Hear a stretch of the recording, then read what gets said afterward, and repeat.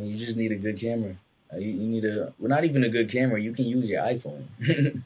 you know, wow. I think for a couple, for a couple of my most recent freestyles, I just used the iPhone. I just put the iPhone up, and it's all about what you do in post production um, to make it look good, to make it look like you know it deserves to be watched. You know, but it it's free pretty much. If you have a, a device to film on, um, the video is free.